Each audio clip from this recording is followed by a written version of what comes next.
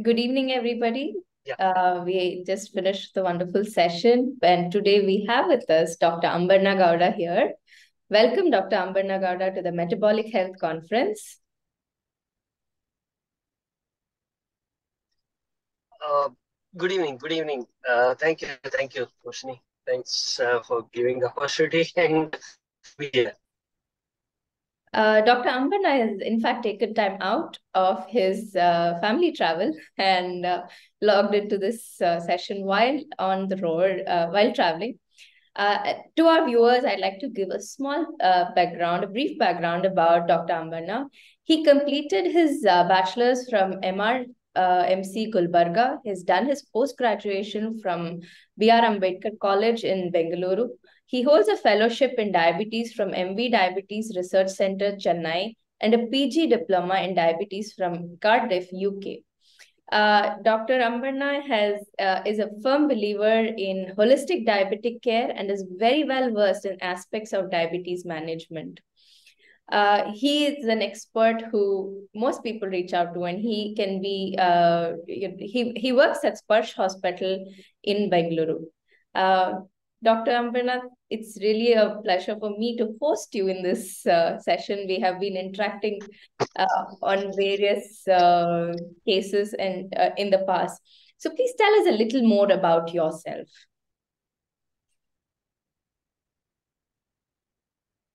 Well, family life, so so is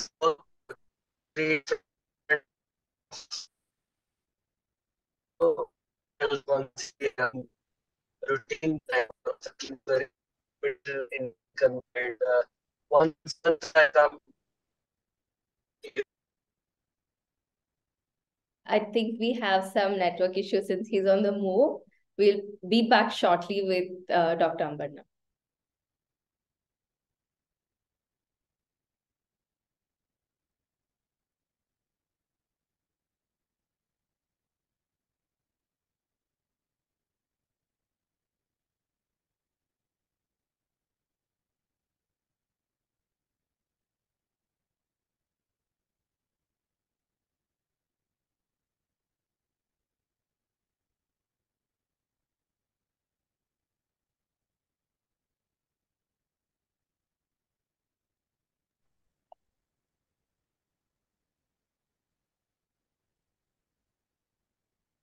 Yeah, I'm audible? Yes, Dr. Ambanna, you can go ahead. Please tell us a little bit about yourself. Yeah. Yeah, so the thing is, uh, once a month I come down to my native to see a diabetic patient. So every Sunday, so after seeing the patient, I'm way back to Bangalore now. So this is how the thing are like um, being seeing, uh, engaging myself in various aspects of, you know, uh, places where, you, you know, you get different everything. So more of keen interest as I went on practicing everything more. I am keen into preventive medicine, wherein you know, um, creating awareness, you know, to know about the disease, educating them, and uh, they should also get involved, you know, to understand what they have. It's not just taking medicine and uh, get back to life. So things are going on. That's what being some doing some uh, research into diabetes uh, in various aspects, the new molecules which come across. and so far, so good. It's been going on. Uh, what led you to start exploring low carb diets? See, uh, that's what, as I told you, uh, lately, post COVID, everything, uh, we have been seeing patients, you know, uh, because I work in three different segments, everything, most of them uh, are started on medicine already.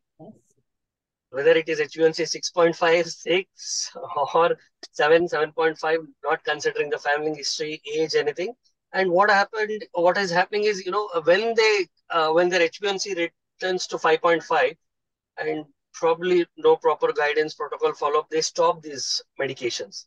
The patient is confused whether I'm diabetic or not. So these aspects we're seeing. So what I thought of is, you know, there's already a protocol, everything is there, but in place, why not bring in few things in our daily practice, you know, which is uh, in concurrent with the current practices, wherein, you know, Uh, if there is no family list of risk factors, uh, HbA1c is not too high, anything, start them off on the carbohydrate diet, everything, you know, push them for six months and see whether they are able to cope up and, uh, you know, uh, get adjusted to uh, a life, new lifestyle wherein, you know, they control their sugars uh, without any proper medications and uh, sustaining it for quite some time. That is the one thing. And lately, you know, being the Silicon City, there are many startups, you know, they are coming up with three months program, six months program. All these patients go there, attend and come back. Doctor, I am not able to sustain these healthy lifestyles, what they are telling me, or the diet aspects. And uh, I, I have patients who came back to me and said, at least once a day pill, I am okay, but I can't follow this strict diets. Right. You know, they are spending roughly about you know 90,000 for three months. Imagine, and uh, they they afford most of the time for a CGM patch also, Mhm. where that's not necessary. It's not I mean, wise to use these things also.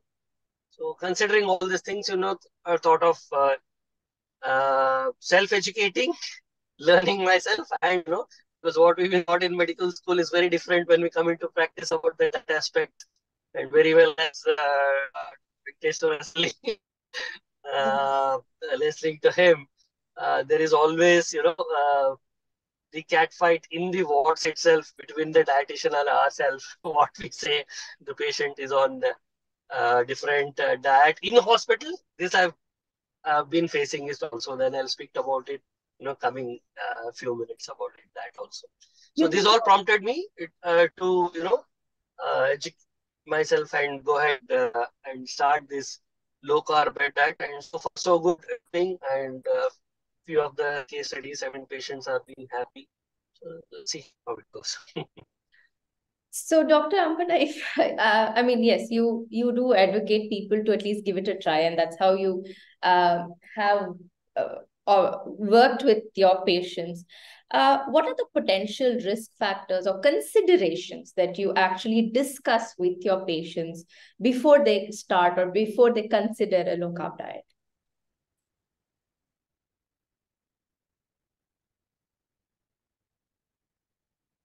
I believe we've again lost uh, Dr. Ambanna. We'll be back shortly.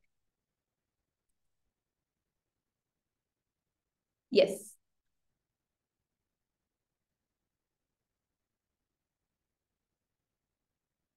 Yes, Dr. Ambanna.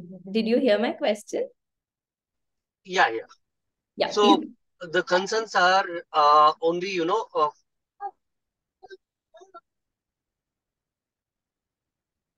only uh, for them who are already known diabetic and uh, when we counsel them and they are keen on to go to low carb diet. So three aspects I look into because most of the time who is also known diabetic uncontrolled, most of the time they're in triple combination drug along with metformin, glimepiride and acarbose. So if I'm uh, educating them that, you know, you need to go toward low carb anything. One aspect I do is first thing is to take out that acarbose because only thing that has been used for only for, you know, carbohydrate per absorption per se. I mean, the mechanism itself, everything. The second aspect would be uh, nowadays, I mean, most of them uh, comorbid conditions and even the second line of drug is started on SGLT2. So just making sure that, you know, educate them and tell them that, you know, they don't go into ketosis, everything. So second aspect is that. And Indian scenario, most of the patients I see already on around 2,000 to 2,500 grams of metformin. That's So when we put the low carb, everything, you know, sometimes they may have nausea, bloating or diarrhea. Uh, we had patients, you know, uh, months together with diarrhea, but unexplained when you reduce your metformin and they're absolutely doing well. So such scenarios or the precautions I take about, I mean, uh, educating the patients who are already on uh, medications for diabetes. For uh, starters, everything, not uh, only hydration aspect, few things, you know, and uh, to monitor their sugars and be in touch with us regularly. All right. You did cover up my next question as well, which was to ask on the Indian context. But uh, maybe you can touch upon what are the myths that you see people have uh, before going into low carb diet. There is a lot of uh, stigma against it, especially in Bangalore. so, what are the myths that you most commonly encounter? Uh, see, basically, the family doctor who is the one first thing is a bigger myth in the family wherein he says he has told me the diet or uh, my YouTuber had told me that or my aunt or my uncle who is a non-diabetic for long years there I've been following this diet I'm happy with that. I'm following doc. I don't want to make any changes for that diet this is the first thing we come across every time. So they say they don't blame it on the diet so they in very uh, they tell in uh, walking. There's been no exercise, but my diet has been perfectly good. So they don't want to accept that. The second aspect of this question, which I want to answer, is now I come from a hail from a place where, where rice bowl of Karnataka, you know. Yes. So three times a day there is a consumption of rice, and they grow their you know uh, quantity wise, and they export everywhere. And this is one thing is apart from rice topping, you tell me anything about. it's so these are the few concerns you know uh, acceptance isn't there and uh, they dodge wisely and they blame it on the exercise anything when we blame on exercise then they go for a diet uh, probably i cheated for the last two weeks so my sugars high are high. The big and you know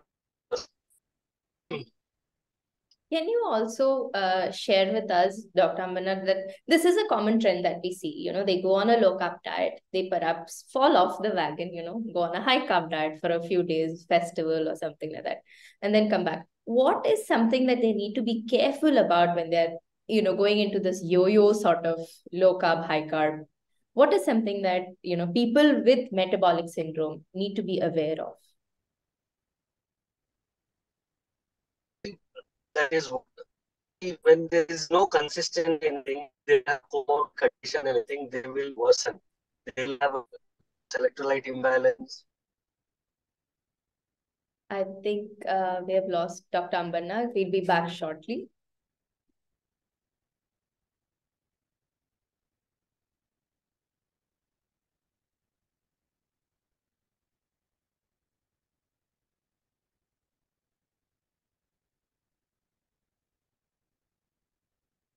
Yes, doctor.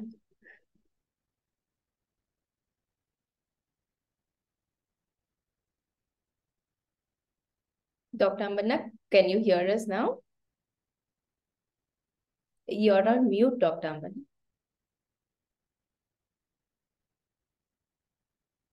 Uh, Himanshu, I think he, uh, Dr. Ambernath needs yes, to be unmuted. I, I have a request, ma'am. Uh, Dr. Ambernath, you're still on mute.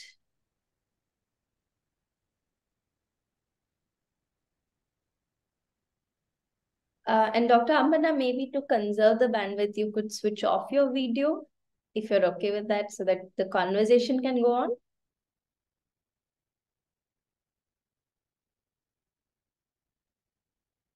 Yeah. Can you hear me? Yes, we can hear you, doctor. Uh, the aspect is that's what there is a gross variability of sugar, then they can land up in diabetic ketoacidosis also. So we are more worried about that. They are not consistent. Uh, they can uh, trigger the complications by themselves, which they wouldn't be aware. And uh, at the end, you know, uh, there'll be no regular follow-up and they end up saying, uh, uh, or getting back to us saying that everything is all well. So these are the concerns, physician's perspective, diabetologist perspective, that if there is, you know, no consistency, then it would be better of them not to push them and, you know, put not to the low carb diet. Okay. And what are the guidelines that you would want somebody to be aware of before they could even consider a low carb diet? So, uh, first, you know, uh, they need to educate themselves with help, our help, or, you know, there is lots of material available about, you know, and uh, make up their mind you know, first thing and uh, consistent regular follow up would be ideal. And uh, over a period of time, if they're not consistent, you know, uh, the issues as we discussed will come up. So ideally, uh, these are the few pointers I would tell them when uh, initial discussion before induction, and you know if they are inducing it to go slow initially, and uh, as they progress in the two weeks, four weeks process, you know they can uh, really do well. Uh, Dr. Ambanna, in your clinical practice, uh, where are the instances that you would want somebody to try the low carb diet as a primary approach? Yeah, in fact, I've been uh, pursuing and started it in my clinical practice in the last four to six months, wherein you know, uh, Hashimoto's thyroiditis, you know, typically who are not on, uh, along with PCOS, you know, who are not on medications already, them, and uh, gestational diabetes. This is one thing I'm looking at where, you know, with bit of diet change, anything, uh, we can stop them uh, to going on to insulin in gestational also in the initial first and second trimester. So that thing I've been doing and been seeing a bit of response as well. And uh, there are, you know, uh, in day-to-day practice, we give fitnesses for surgery, perioperative. There are also instances where you know we the uh, the patients you know get delayed for admission for surgery because that only thing is sugars are high. Yeah. In such scenarios, also uh, making sure that educate them about uh, low carb diet, and uh, these are the few things you know apart from regular uh, you know uh, pre-diabetes, diabetes, and metabolic syndrome. Now, I see a lot of in health checks wherein you know they come with uh, ticking all the boxes of metabolic syndrome. And uh, right away we don't put on medications. I tell them that come back three months six months but you need to be consistent with your diet and exercise. And so that you know uh, you don't go on medications forever. That is one thing. Few of the important few things i'm looking at them and being a fair bit of success in them. Right. Can you share some of these success stories yeah, a, a, couple of them. One would be, I think, with uh, uh, Shashikanji. These guys are uh, elderly, middle-aged male, a big hotelier. He his sleeping times are erratic. He, he sleeps at one o'clock. You know, these are things. He was around one 120 units of insulin uh, units per day.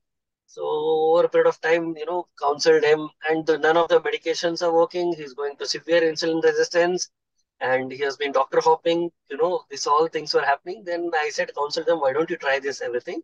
Then I'll put across to you a certified metabolic coach wherein, you know, I'll be in touch also. So that, you know, I, he has no more conditions. So, uh, and, uh, I spoke with Shashikanji and put him across that and, uh, and, uh, results are like that. I mean, he has reduced 40 units in his daily uh, uh, intake of insulin. And for the last three months, he just messaged us saying that 175 milligram is a random, which is to be 250, 280 always. So that way he's happy and he's doing fair bit of walking, exercise, everything. So uh, not completely on low carb, but acceptable for his, you know, waistline and for his uh, palatable thing, you know, he's uh, uh, following it. He's doing good. Then the second instance might be one uh, patient we both uh, have seen. Uh, she was you know, very sugar cravey and she actually did well. We reduced the medicines, everything, uh, do other things, everything ready. Did her sugar, B1C came down, everything, but consistency was not there, and you know she fell off the this uh, low carb diet plan. There was a young chap also where, you know, 18, 17 years old,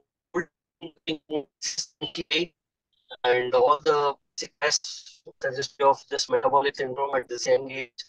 Uh, so with low carb, everything he did well and few initial uh, hesitancies for us, but uh, when they seen the result, I mean, uh, they came up, they follow up everything, they are very happy with that.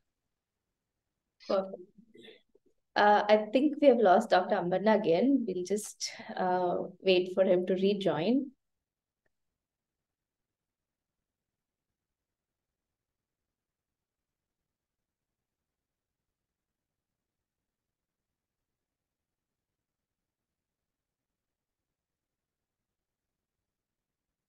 Yes, Dr. Ambanna, yeah.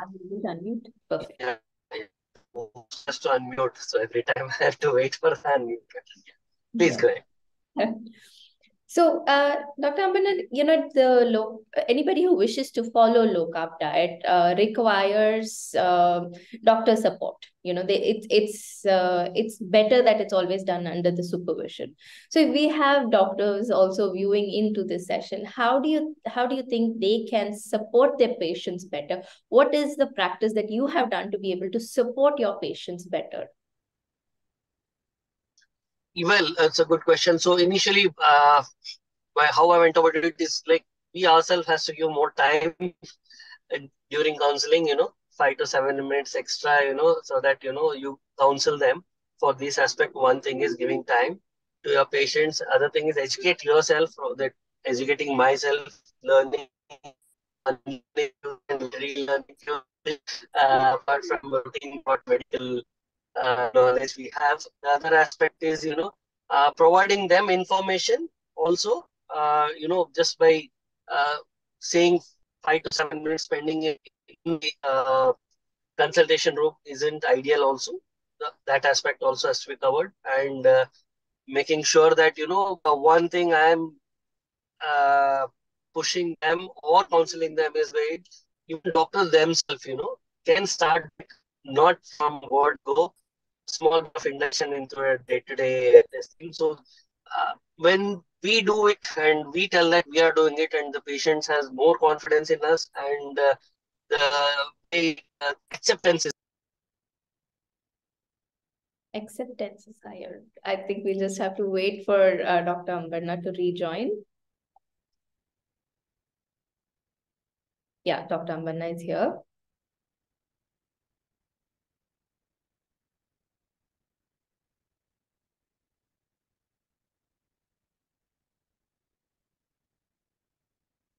Are you able to hear us, doctor? waiting for the mute button from the host to come up. Sorry. So uh, these things and you know educating and creating awareness is only from doctors end, which can be done well so that it can be taken up for masses. So these are few pointers. You know, I would be recommending uh, your colleagues who would be interested to uh, get this aspect into their practice. I really like the points you mentioned, you know, uh, because we work as a team and with the overwhelming numbers that we're seeing today, uh, I think it's really important that we work as a team. Is there anything you'd like to tell the low carb community, coaches, uh, and practitioners? Well, uh, it's been a learning aspect for me. I mean, uh, definitely things are working out for my patients, everything.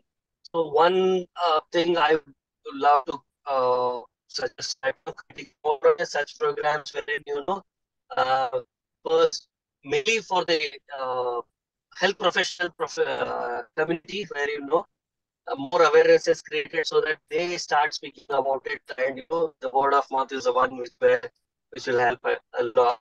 And uh, definitely uh, from doctor fraternity they shouldn't be hesitant because you can't give more time to our patients all the time so taking uh, uh, collective uh, harmoniously registered metabolic coaches low carb specialists that should we should uh, inculcate accept in our practice you know we shouldn't hesitate to put across patient to them so that you know that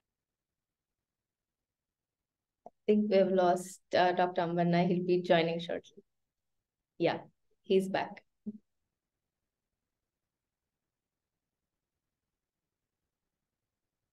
So sorry, network is very bad. I'm going to park No, really thankful that you're able to take this time out during your travel itself, uh, Dr. Ambanna. Thanks. So, so these are the few things, you know, uh, more happier that to continue this trend and help my patients as well, you know, Yes. more happier about it. And uh, what would you like to leave our audience with? What is some impact uh, that you would give from your end, considering the fact that there's a lot of myths out there that uh, stay, you know, and strong statements, especially we hear it in the local language in Kannada, which says that you know low carb diets are dangerous and bad and and not healthy and all of these what is the statement you'd like to give or make against these claims i would like to say you know uh, there is a lot of uh, misinformation doing round you know. So for that we should come up and explain. If the patients are or doctor colleagues themselves they have these questions i mean uh, raising doubts they should speak to us and we should start speaking to ourselves and first thing you know educate this is a thing these are the benefits i've seen case scenarios everything instead of speaking of going up putting up uh, aspect about drug everything even a couple of case scenarios would uh, encourage and bring in more information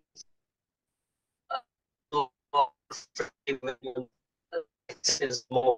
So one thing would be, you know, go ahead, uh, always get proper information before, you know, accept anything from few videos or somebody who is not always be in touch with a registered uh, coach, you know, where you have doubt concern. There is nothing wrong from each other. So I think uh, that, you know, uh, should help. We should try to reach out more and learn and uh, relearn. So that is one message I would like to. I think we lost Dr. Ambanna again. Yeah, we have him back here.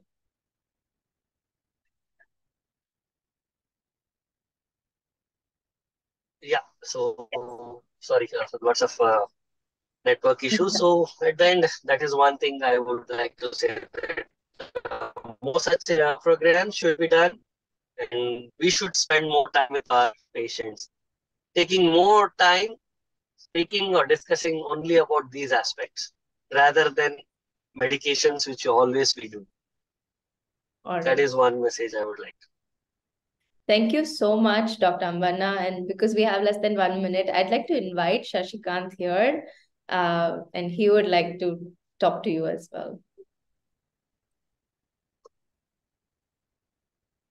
Yeah, uh, Dr. Ambanna, thank you very much that in spite of this is a very busy Sunday for you, you have gone out of town to service a different village where you usually go once a month and still uh, in spite of all the difficulties you could join this session and uh, uh, we will have a very good session with you probably later on uninterrupted so that we all are able to listen to your views uninterrupted i think and still i wish to thank you very much for this session Roshni, thank, thank you. you. Thank you so much, Shashiji. And it's been a wonderful thing. And